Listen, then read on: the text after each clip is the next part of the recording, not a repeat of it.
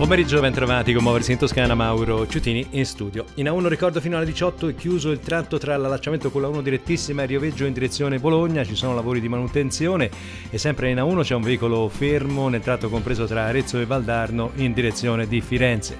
Ci spostiamo sulla Firenze, Pisa-Livorno, code per 2 km, lavori tra Gello e lo svincolo Ponte della Est, siamo in direzione di Firenze. Code per un chilometro in A11 dopo un veicolo in avaria tra Prato Ovest e Pistoia, la direzione è quella per Pisa. In chiusura per le statali, rallentamenti sull'Aurelia, lavori a un chilometro prima dell'incrocio Sarzana, statale 446 di Fosdinovo.